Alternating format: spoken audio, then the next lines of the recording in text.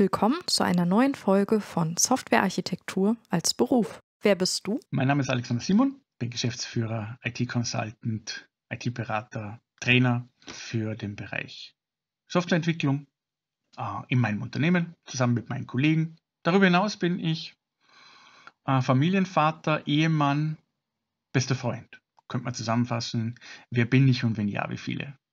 Was machst du? Ich berate Unternehmen im Bereich der Softwareentwicklung. Ähm, ich selbst komme aus der Softwareentwicklung, ähm, habe jahrelang Produktivsoftware entwickelt im Banken- und Versicherungsbereich und gebe mein Wissen und Erfahrung, das ich über die Jahre erfahren habe und immer noch erfahre, an Kunden weiter. Durch manchmal sehr pragmatische Art und Weise, manchmal durch sehr strukturierte Art und Weise, situationsabhängig, aber ich glaube, das kennt jeder. Was steht auf deiner Visitenkarte? Es ist wirklich interessant. Ich, es steht nichts auf meiner Visitenkarte von meiner Berufsbezeichnung. Ja, weil eigentlich jeder weiß, was ich tue.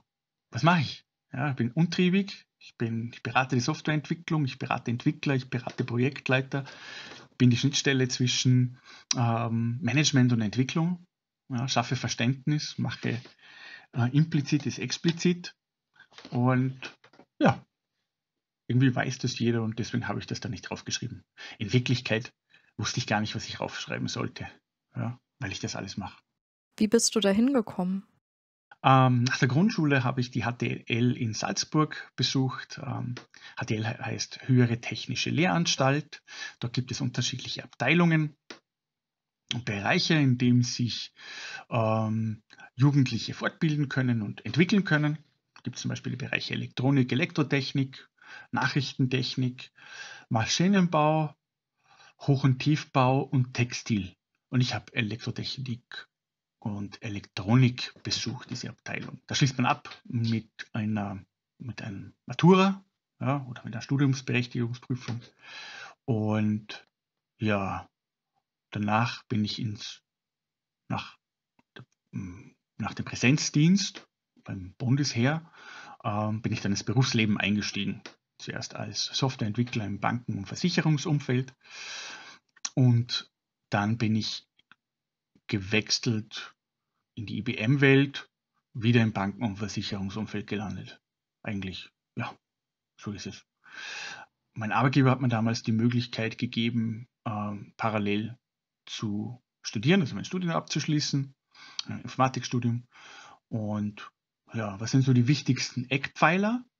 Zu lernen, dass Software ein Artefakt ist, das gemeinsam entsteht, das nicht im stillen Kämmerlein ohne Anforderungen entsteht, sondern dass die größten Änderungen einer Software sich dann ergeben, wenn der Kunde sie zum ersten Mal sieht.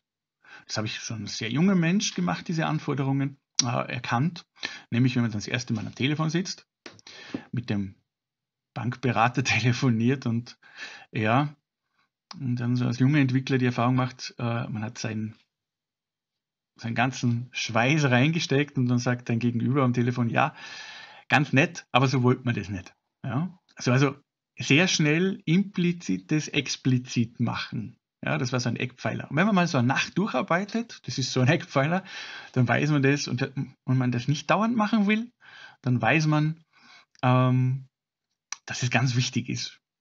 Ein, ein weiterer Eckpfeiler ist, als ich dann ähm, Salzburg verlassen habe und nach Mainz gezogen bin, den Arbeitgeber gewechselt, ja, von Salzburg eine Bankenentwicklungsfirma, äh, dann also IBM-nahe äh, Firma. Und dort habe ich dann die Möglichkeit bekommen, ein Team zu leiten oder ja, in einem Team mitzuarbeiten. Ähm, dieses Team war in Manila und bin dann auch äh, eine Zeit lang dann in Manila verbracht und dort ähm, mitgeholfen und mitentwickelt. Ähm, organisatorisch habe ich das Team geleitet, aber in Wirklichkeit wollte ich das eigentlich nie. Ich wollte eigentlich immer mehr so die kollaborative Zusammenarbeit haben.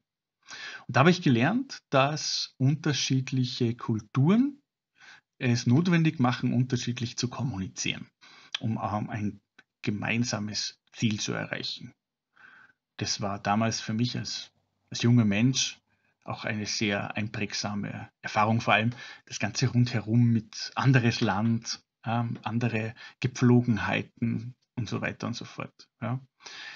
Und ja, damals sehr lange auch sehr engen Kundenkontakt gehabt und ich kann mich da erinnern, dass ich da eines nachts mit einem Kollegen von der Siemens zusammengesessen bin und wir haben dann gefühlt die ganze Nacht ein Problem gesucht, behoben und wir waren nicht immer einer Meinung, aber wir hatten ein gemeinsames Ziel, äh, was zur Folge hatte, dass wir sehr lebhaft diskutiert haben, unterschiedliche Gesichtspunkte betrachtet haben dieses Problems und dann gemeinsam auf eine Lösung gekommen sind. Und das hat man heute auch noch tagtäglich oder ja, in, hoffentlich nicht die ganze Nacht, aber tagtäglich. Und das ist auch so ein wichtiger Eckpfeiler für mich zu verstehen. Man kann unterschiedliche Meinung sein, wenn man das gleiche Ziel verfolgt. Ja, erzählt das Ergebnis am Ende des Tages. Also wenn man sich so fragt, was sind die wichtigsten Eckpfeiler, dann sind diese drei Erfahrungen so die Eckpfeiler. Was hat dich zuerst in den IT-Bereich hineingezogen? Die Ausbildung. Ja, also muss man auch ganz ehrlich sagen, mit 16 Jahren weiß man noch nicht, wohin einen der Weg verschlagen wird. Äh, meine Eltern wussten das schon. Meine Eltern haben gesagt, du machst was mit Technik, das hat Zukunft. Okay. Ja. Jetzt muss man dazu sagen, dass ich früher schon seit Kindheit, äh, Zeitalter sehr gerne Sachen zerlegt habe. Äh, alles.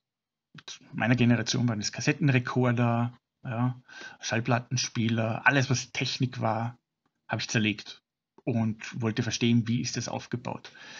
Ähm, mit zunehmendem Alter konnte ich es dann auch wieder zusammensetzen. Ja, und mit der zusätzlichen Ausbildung der HTL. Und ja, ähm, und so kam das eins zu eins. Also Elektronik, Elektrotechnik, irgendwann kommst du in den Bereich IT. Und äh, für diejenigen, die die HTL nicht kennen, du beginnst jetzt sehr früh Software zu entwickeln in Form von Programmierung. Ähm, zu meiner Zeit waren das C und Assembler, dass ich erfolgreich verdrängt habe, dieses Wissen. Ähm, nichtsdestotrotz lernst du sehr, sehr früh industrielle Steuerungsanlagen äh, zu entwickeln und auch zu programmieren.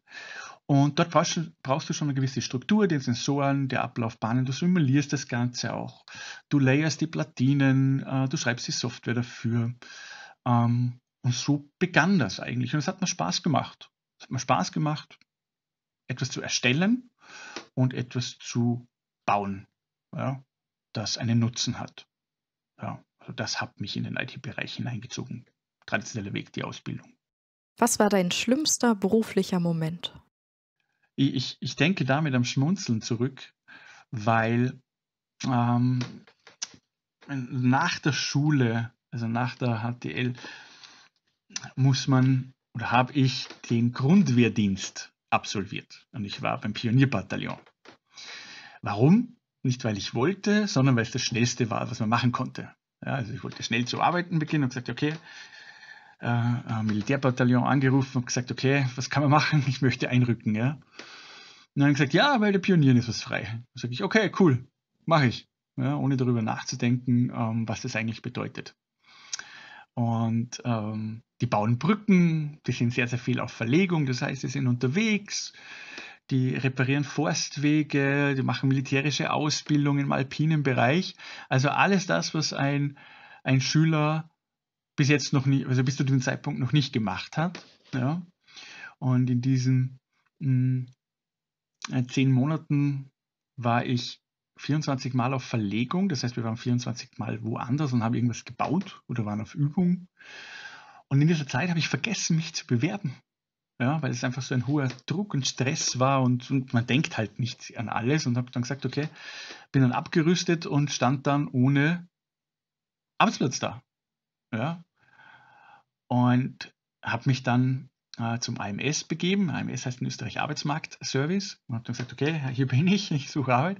Wusste aber gleich, dass ich mir selbst Arbeit suchen werde. Nichtsdestotrotz äh, war ich zwei Wochen arbeitslos in meinem Leben. Das schlimmste Zeit überhaupt. Gerade in so einem jungen Alter drehen sich die Gedanken im Kreis im Kopf. Ja, und es war eine sehr unzufriedene Zeit, äh, unzufriedenstellende Zeit für mich. Witzigerweise, bei diesem AMS-Gang stand ein IBM-Bus vor der Tür. Die haben damals ein großes Ausbildungskonzept und eine Ausbildungsinitiative gehabt. Und ich bin da rein und habe gesagt, so, hallo, ja, ich würde mich gerne mal bewerben. Ja. Ähm, habe dann einen Bewerbungstest gemacht und äh, hatte alles abgegeben. Dann bin ich nach Hause und begannen eben diese zwei angesprochenen Wochen. Und eines Montags morgens bekam ich einen Anruf mit der Frage, ähm, wo sind Sie? Und, und, ich muss gestehen, ich bin auf, erst aufgestanden gewesen und gesagt, wer sind Sie und wo soll ich sein? Gesagt, ja, ich, hier spricht das Recruitment der IBM, Sie sollten in Wien sein. Und lange Rede, kurzer Sinn, ne, da ist irgendwas im Recruiting schiefgelaufen. Ähm, ich bin dann nach Wien und habe dann dort meine Ausbildung als ähm, Mainframe Developer im Batch und Online ähm, bei der IBM gemacht. Ja, lustige Zeit. Was ist die wichtigste nicht technische Fertigkeit, die dir in deinem Beruf geholfen hat? Man sagt Soft Skills dazu. Also ähm, die Fähigkeit, an Prozessen vorbeizudenken, wenn sie nicht funktionieren. Ähm, meine Kommunikationsfähigkeit, äh, Dinge und Punkte explizit anzusprechen, wenn sie mir nicht klar sind. Ähm, und den Kontext und die Rahmenbedingungen äh, zu berücksichtigen. Ja, das sind also typische Soft Skills, die helfen mir zu meinem technischen und technologischen Wissen dazu. Ich denke, dass ich sehr gut mit Menschen zusammenarbeiten kann. Müsste man jetzt andere Menschen fragen, die das sehen, aber ja. Welche Rolle spielt Softwarearchitektur in deinem beruflichen Leben? Eine zentrale. Strukturen zu schaffen, Rahmenbedingungen zu berücksichtigen, Anforderungen zu berücksichtigen, eine Lösung zu präsentieren, die für Anwender und Nutzer einen Wert schaffen, ist etwas, was mein tägliches Arbeitsleben und das Arbeitsleben meiner Kollegen beherrscht. Das heißt, Softwarearchitektur ist ein, ein, ein zentraler Bestandteil meiner Arbeit. Darüber hinaus gebe ich auch noch Schulungen und halt Workshops und von dem her ergänzt sich das. Ja, also eine zentrale Rolle. Auf welche beruflichen Ziele konzentrierst du dich derzeit? Ist es schlimm, wenn ich sage, ich habe jetzt nicht die beruflichen großen Ziele? Ich bin, wir sind zufrieden. Es ist so, dass ich in einem kontinuierlichen Verbesserungsprozess stecke. Ja, ich möchte die Sachen, die ich kann, verbessern, die Fähigkeiten, die Stärken, aber auch die Schwächen ähm, angehen. Ja, es gibt jetzt keine Ziele, dass ich jetzt wachsen in Form von, von mehr Aufträgen oder mehr Umsatz. Das ist zum Glück in unserer Branche. Ja, wenn du gut bist, dann baust du dir einen gewissen Kundenstock auf, mit dem wir auch sehr zufrieden sind. Das heißt, ähm, Stärken ausbauen, Wissen am, am aktuellen Stand bleiben, das sind so meine Ziele. Habe aber keine Roadmap dafür. Was ist die Einschränkung an deinem Beruf? Die mit Sicherheit größte Einschränkung, seitdem ich in diesem Beruf arbeite, ist die Reisetätigkeit. Hm, ich habe vor kurzem erst wieder mit einem besten Freund darüber reflektiert. Ähm, und das ist genau so ein Punkt, bester Freund. Man ist sehr viel unterwegs. Also es ist bei mir so abgelaufen, dass ich teilweise Sonntagabend ähm, in den Zug oder in den Flieger gestiegen bin, auf Freitagabends zurückkam und das ist schon ein sehr hoher Reiseaufwand. Also dort Freundschaften, also in diesem, in der kurzen Zeit übrig bleibt, Freundschaften zu pflegen, ist eine Herausforderung. Ähm, auch darüber hinaus noch für die Familie da zu sein, äh, erfordert schon den massiven Einsatz äh, moderner Medien wie Skype, WhatsApp und äh, so weiter. Das heißt, das ist in Wirklichkeit die größte Einschränkung. Seit der Situation mit Covid-19 hat sich das ein bisschen entspannt. Ähm, jetzt ist aber so, dass die Meetings sehr eng getaktet sind. Das heißt, puh, ja, ähm, man ist zu Hause. Ich genieße das auch, zu Hause zu sein. Aber ja, wenn man sich fragt, was ist die größte Einschränkung für mich, dann ist es in der Tat die Reisetätigkeit. Drei Ratschläge an dein 18-jähriges Ich. Also ich bin mir ziemlich sicher. Nein, ich weiß, dass ich diese Ratschläge nicht angenommen hätte. äh, ja, also erster Ratschlag. Wenn du es nicht verstehst, ist die Chance groß, dass den Sachverhalt auch jemand anders nicht versteht. Also frag immer nach. Hintergrund ist dabei, manchmal fühlt man sich blöd dabei, nachzufragen. Und das ist auch etwas, was ich erst im weiteren Verlauf gelernt habe. Aber das ist überhaupt nicht blöd. Das ist notwendig, Sachen explizit anzusprechen ja, oder explizit zu hinterfragen. Also das wäre mal so mein erster Ratschlag. Zweiter Ratschlag, sei geduldig. Sei geduldig in deiner Arbeit.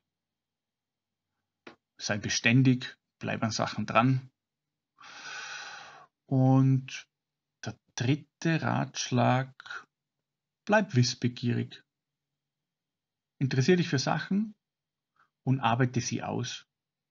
Und nimm dir mehr Zeit, Sachen wirklich konzentriert auszuarbeiten.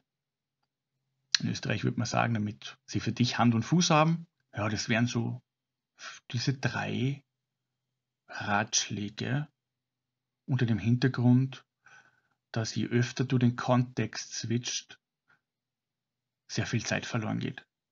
Ja, also lieber Kontext fokussiert arbeiten, hätte mir bei der ein oder anderen Prüfung sehr geholfen, dieser Ratschlag. Ja.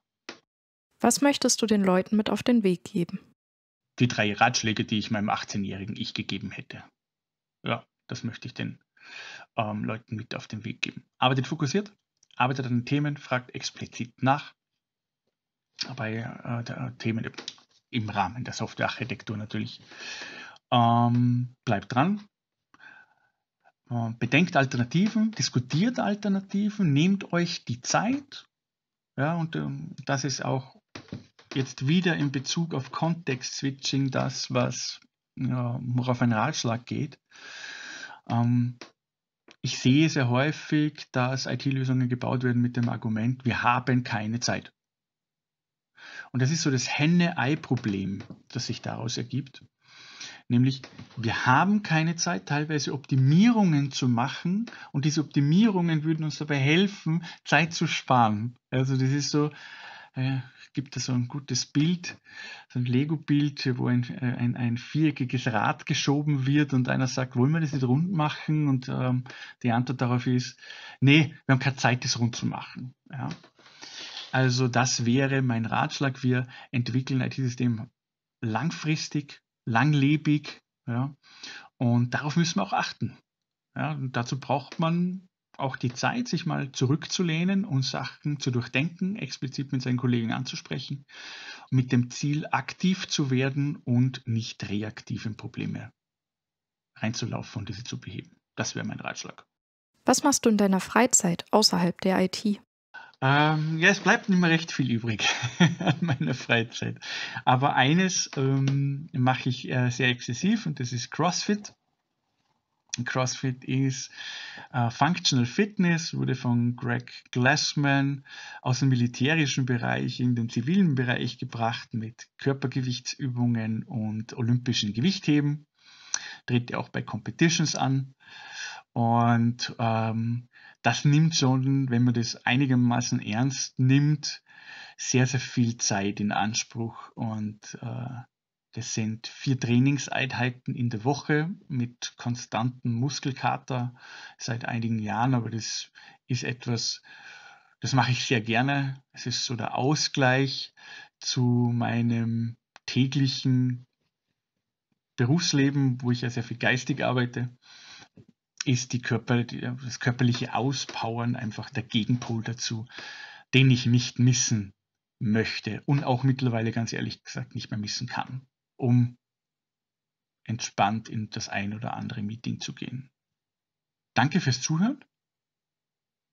Vielleicht sieht man sich mal bei der einen oder anderen, bei dem einen oder anderen Kongress. Würde mich freuen, sprecht mich an. Ähm, ja, alles Gute. Baba.